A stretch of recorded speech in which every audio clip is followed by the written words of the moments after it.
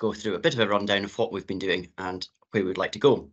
So it was a, it was a gossip on the grapevine of City Hospital that we had something called soft fix cadavers that were different to our normal cadavers that you may have had in medical school. And they could be very useful for everything from surgical dissection to any anaesthetic techniques. So they were being touted as being a very good tissue feel. So anything that you did was almost human-like, but they would last an awful lot longer than fresh frozen. They were already being used for surgical teaching. There were quite a few courses getting run by the surgeons through City Hospital and the repository there, uh, and even doing laparoscopic work because of the feel you could inflate an abdomen and have a rummage around like the surgeons do. So originally, Mark Barley and I had a saunter down. Uh, I met Mark Harwood, who's in charge of all of this, and had a look at one of the soft fixes and things that they'd done, and it did feel very good. I, uh, I took an epidural kit down with me, popped them on side and popped an epidural in, and it felt really exactly like a normal human alive in the anaesthetic room, which was very different to anything I'd had before doing dissection in labs. Uh, you can easily position a soft fix because you haven't got a rigid body. There's not rigor mortis there and it's not formaldehyde firm either. So you can bend a head down and move a body around should you need to. So as I said, I think it was about 2018, but the midst of COVID have uh, wiped that memory, I'm afraid. And the first formal session was run and we had about 20 trainees on that divvy day and it was just part of the round robin teaching for their thoracic day. They came down to the repository, um, uh, into the back of the morgue, uh, played for an hour of what we did, and then moved on. The small groups that we had were quite good because they all got several attempts at a thoracic epidural. There was a bit of chat and teaching and angle discussion and things like that whilst somebody else was having a go. But they could very quickly rotate around and it was very easy to chat with them. Now we at that time were given a soft fix cadaver um, because they were the repository is very keen on building up the repertoire. And there was one available because it was about to be used for a surgical course. And as we were only going to put small puncture wounds around thoracic spine, we weren't doing anything front of abdomen, which is what they needed it for. We weren't getting charged for it to get a cadaver built or for a soft fix and given to you costs between two and a half and three thousand pounds. So if you're going to destroy one, it's not an insubstantial cost. So that day received very good feedback. Um, everyone felt that they had increased confidence in doing thoracic epidurals. And for some of them, that was their first attempt at doing a thoracic epidural, which was nice to do in a pretty calm environment. So COVID hit and everything stopped and I uh, completely forgot that I'd ever done it. And it was early 2022 that I thought we could probably have a go at doing it again and was in contact with Mark Carwood, who was very keen to increase the things that get done there. So I thought I'd better get on with it. There's not many thoracic epidural opportunities left for trainees through NUH anymore. Um, the big elective work that use it repeatedly, so HPB upper GI is out of module for most people. Colorectal still use quite a few. The epidural rate in thoracics has dropped massively in the last 10 years because they're doing a lot of things VATS and robotic and their surgical infiltration techniques have really improved massively, uh, which has just reduced epidurals to very, very few now. Um, so I think this is where the training opportunities have probably become quite selective to say the least. So when I approached Mark Kerwood, there were no surgical courses around the time that I wanted to or was available to do the teaching. So we didn't have a soft fix. But uh, he suggested we try an unfixed or fresh frozen cadaver and see what that was like. So we did. And although it is still very cold, despite being out the freezer for 24 hours, uh, the tissue feel is very, very close to real life, but it is exceptionally chilly to the touch which is a little bit off-putting for some people. So again, we got some feedback and it was universally deemed useful. Low numbers of previous epidurals were common, so about three to 10, and this was opened up to all registrars or um, stage two, stage three nowadays. And we asked the trainees where they felt this training would best fit in, how often, and yearly was the most common response, and at least every stage of training was was the next most common one. And stage two seemed to be suggested as the best time to initiate training like this because you'll have the most opportunities to gain something from it. So this year came around and uh, we got a bit more ambitious. So I've been uh, one of the novice trainers or allocated novice supervisors at City Hospital for quite some time. And one of the things that has always been quite difficult, I've found to teach, is getting them to do spinal anaesthesia. So you're trying to explain quite a detailed procedure to a trainee who might have an awake patient in front of them at that time. The trainees are understandably a bit nervous doing this for the first time, which is certainly not a bad thing.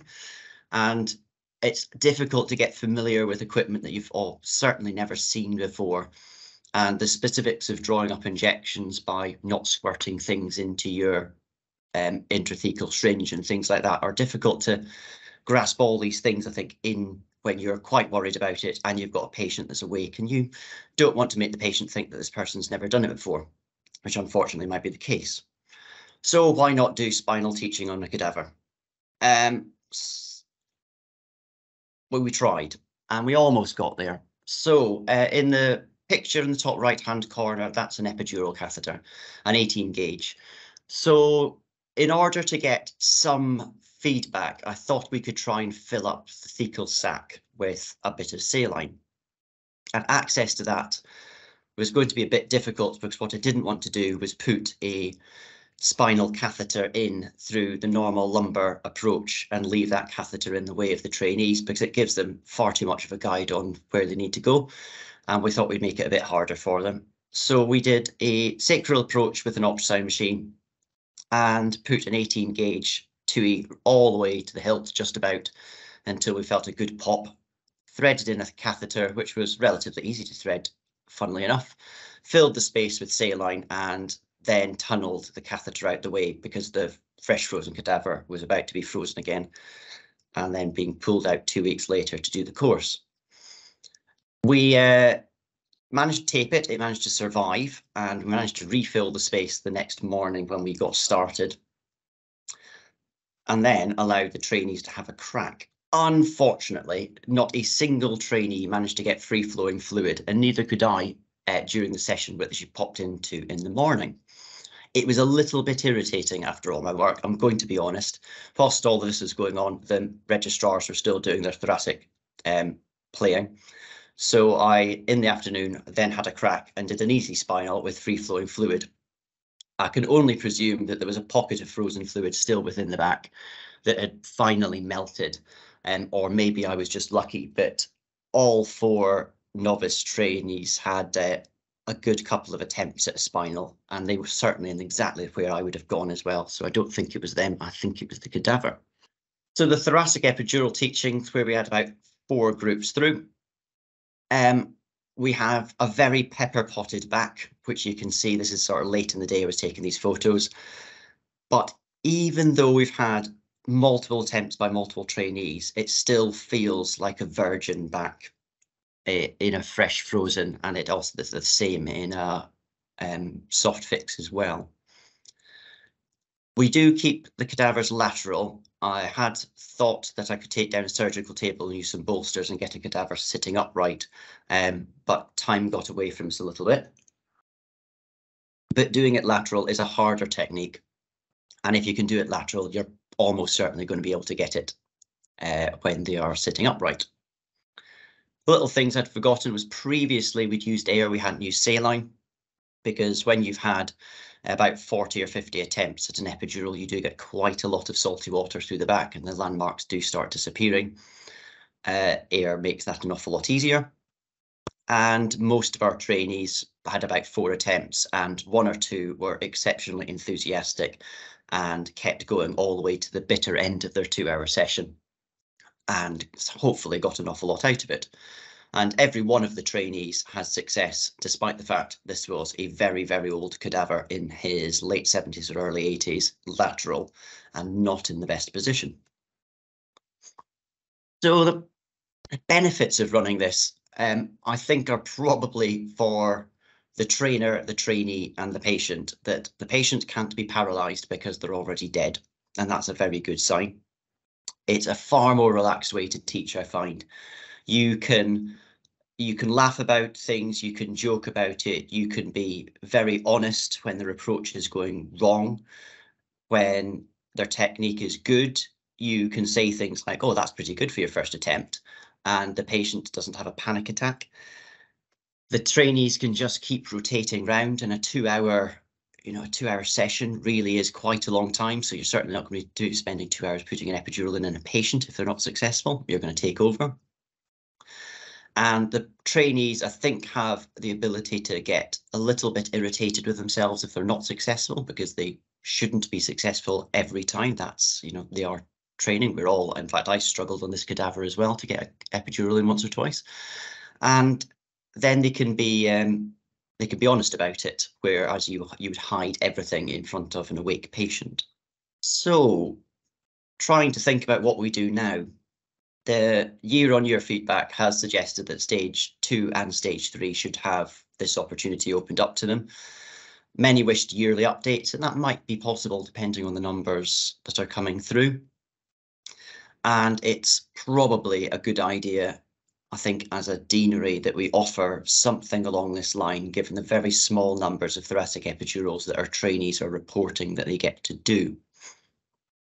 From the spinal teaching point of view, um, I have some ideas about how to make that a little bit more successful, and I don't see any reason why we couldn't be running novice teaching on the six monthly basis when the new starters come to us, so that they do get a good session of practical teaching on spinal anesthesia. They get to know the kit, they get to know the landmarks.